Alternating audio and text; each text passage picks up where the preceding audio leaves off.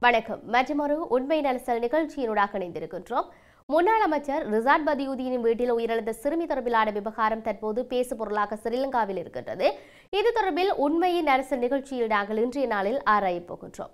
மலிகத்தைச் சேர்ந்த சிறுமி கிசாலினியின் மரணம் தமிழ் மக்கள் மத்தியில் மட்டுமின்றி மனிதாபிமான உணர்வு கொண்ட அனைவரின் மனங்களிலும் தாக்கத்தை ஏற்படுத்தியுள்ளது.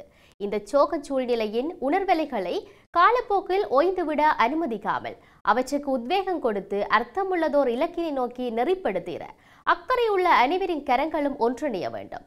சுதந்திர இலங்கையின் முதல் வருடத்திலேயே குடியுரிமையும் வாக்குரிமையும் பறிக்கப்பட்டு நாடற்றவர்களாக மாற்றப்பட்ட மலையக தமிழர் சமூகம் அதன் பின் பதினைந்து வருடங்கள் கழித்து இலங்கை இந்திய அரசுகளுக்கிடையில் செய்து கொள்ளப்பட்ட ஒப்பந்தத்தினூடாக மந்தைகள் போல பிரித்து பங்கீடு செய்யப்பட்ட வரலாற்று துரோகங்களின் பின்னணியில் அதன் ஒரு பகுதியினருக்கு வழங்கப்பட்ட குடியுரிமை மற்றும் வாக்குரிமையோடு சமீப காலமாக எழுச்சி பெற தொடங்கியுள்ளது.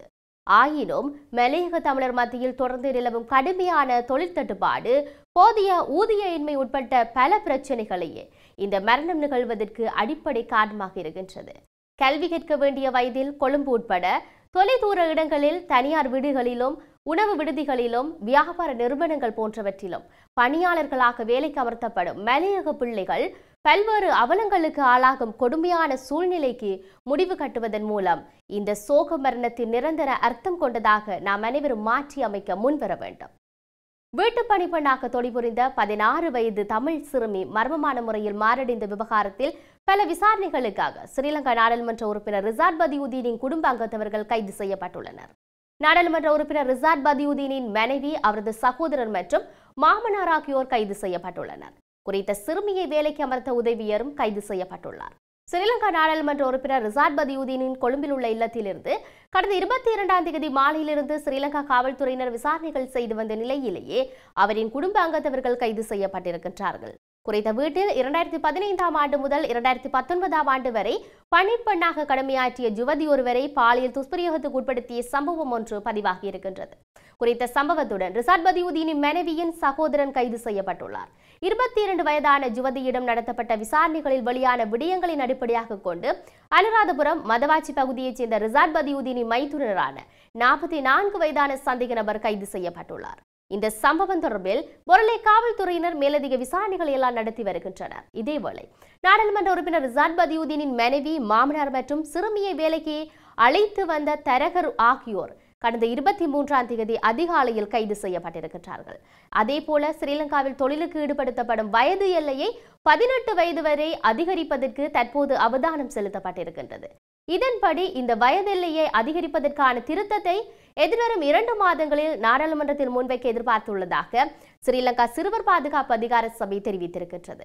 நாடாளுமன்ற உறுப்பினர் ரிசார்ட் பதியுதீனின் வீட்டில் பணியாற்றிய பெண் ஒருவரை பாலியல் துஷ்பிரயோகத்துக்கு உட்படுத்திய சந்தேகத்தின் பேரில் ரிசார்ட் பதியுதீனின் மனைவியின் சகோதரர் ஒருவர் கைது செய்யப்பட்டிருக்கிறார் இந்த விவகாரம் தொடர்பில் பல அழுத்தங்கள் கொடுக்கப்பட்டு வருகின்றது.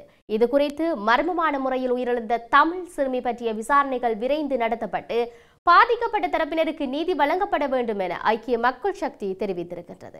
அதில் இந்த சம்பவத்தை சிலர் அரசியல் மயப்படுத்தப்பட முயற்சிப்பதாகவும் அதற்கு இடமளிக்காத வகையில் தரமான விசாரணைகள் நடத்தப்பட வேண்டும் என்றும் தெரிவிக்கப்பட்டிருக்கின்றது. முன்னாள் அமைச்சர் ரிசாட் பதியுதீனின் வீட்டில் பணிபுரிந்து உயிரிழந்த சிறுமி கிசாலினியின் மரணத்துக்கு நீதி கோரி கடந்த இருபத்தி நான்காம் தேதி காலை ஒன்பது முப்பது மணிக்கு ஜால் மத்திய பேருந்து நிலையம் முன்பாக கவனியீர்ப்பு போராட்டம் ஒன்று முன்னெடுக்கப்பட்டுள்ளது. இதில் சமூக அமைப்புகள் மற்றும் பெண் அமைப்புகள் பல கலந்து கொண்டிருந்தனர். சிறுவர்களை வேலைக்கு அமர்த்தாதே சிறுவர்களின் எதிர்காலத்தை சிதைக்காதே வேண்டாம் வேண்டாம் வன்முறை வேண்டாம் பாதுகாப்போம் பாதுகாப்போம் சிறுவர் உரிமைகளை பாதுகாப்போம் மலையக சிறுமிக்கு நீதி வேண்டும் பாலியல் வன்முறை வேண்டவே வேண்டாம் பாதுகாப்போம் பாதுகாப்போம் சிறுமிகளின் உரிமைகளை பாதுகாப்போம் உள்ளிட்ட பல்வேறு கோஷங்கள் பல எழுப்பப்பட்டிருந்தது. யாழ்ப்பாணம் மட்டுமின்றி பல மாவட்டங்களிலும் தொடர்ச்சியாக முன்னெடுக்கப்பட்டு வருகின்றது ஆர்ப்பாட்டங்களும் போராட்டங்களும்.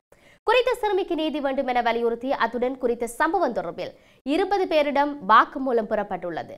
இந்த மரணம் தொடர்பான புலன் விசாரணைகள் தொடர்ந்தும் ஊன்றி அவதானித்து அவை உரிய முறையில் விரைந்து முன்னெடுக்கப்படுவதன் மூலம் குற்றவாளிகள் கைது செய்யப்பட்டு நீதிக்கு முன் நிறுத்தப்பட்டு தண்டிக்கப்படுவதை உறுதிப்படுத்துவது எவ்வளவு அவசியமானதாகும். நீதி கிடைக்குமா இல்லையா என்பது பொறுத்திருந்து பார்ப்போம். மற்றும் ஒரு உண்மையினால் சில நிகழ்ச்சியினூடாக உங்கள் எல்லோரையும் சந்திக்கும் வரை உங்களிடம் இந்த விடைபெற்றுக் கொள்ளும் நான் இறுதியரா சமதுரா வணக்க நேர்களே.